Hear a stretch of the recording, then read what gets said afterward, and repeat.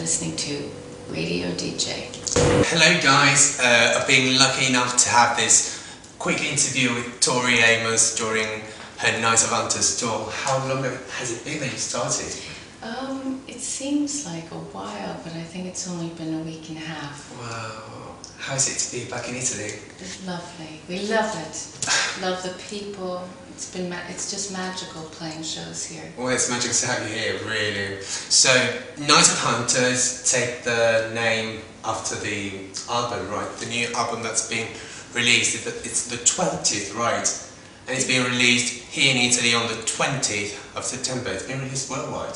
Worldwide, on the 20th, on the yes. 20th of September. Worldwide, yes. So tell us about it. We're very curious about the whole idea. How did you how did you come up with this whole story? Well, Deutsche Grammophon approached me and said, Would you compose a 21st century song cycle based on classical themes? And so, you know, they're the mother of all classical labels Yeah. and very prestigious. So it's not as if you can go to them in Berlin and knock on their door and say, you know, I And have they came idea." to you. They came asked to you. me.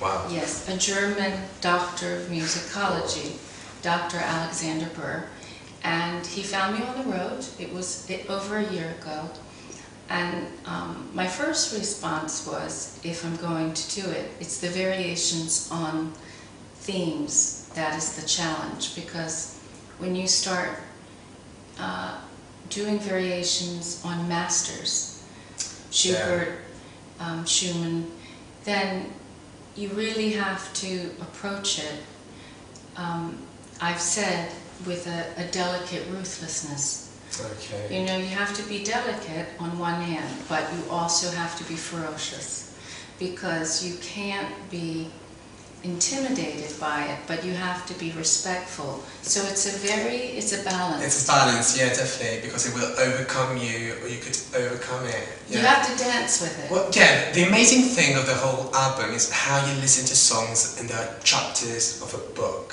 Hmm. It's a story. It, it- it's magical when you get into the story. It really tells you like a whole thing from the beginning to the end, from dusk to from dusk to dawn. Right? It is very good. And another thing that I wanted to ask you is, how did you manage to hit the top ten charts? Altogether, it's alternative, rock, and classical.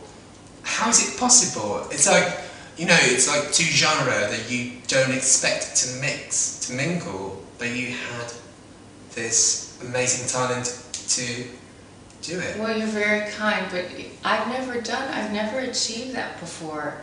I've never achieved um, that. And so I guess I, I have to be honest with you, I wasn't thinking of accomplishing that. I was trying to really write the best narrative that I could. I studied the song cycle form, and it is different than a musical. I've been working on a musical with the British National Theatre, and if I hadn't done that, honestly, I would have had no clue on how to, I mean, how do you create this kind of sonic cathedral, because that's what it really is. Yeah. So after working for over five years on a musical with an incredible creative team, uh, the book writer Sam Adamson and Marianne Elliott, the director, and so many people on the musical, that I feel like I learned a lot of things that I was able then to apply to building a narrative. And a song cycle is not about speaking dialogue. It is about the story being woven through the instruments and through the characters who are singing. And you can have liner notes, and we felt photographs. In the past, there could be drawings. So it's that kind of medium. Um, but I really tried to just make a story that I felt people would relate to, a shattering of a relationship, but mystical characters coming in with Anabelle and the fire fox, muse. the and- Yes. yeah, all together. Well, thank you for this interview. Good luck with your show, Thank and I you. really can't wait to see you. Like, we're all very excited about it, and thank you. and Best luck. Thank you so much.